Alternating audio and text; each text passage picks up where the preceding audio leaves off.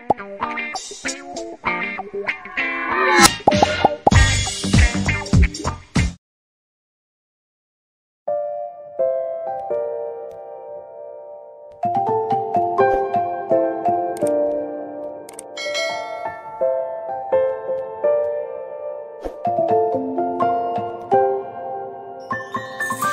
many places still undiscovered But you're stuck in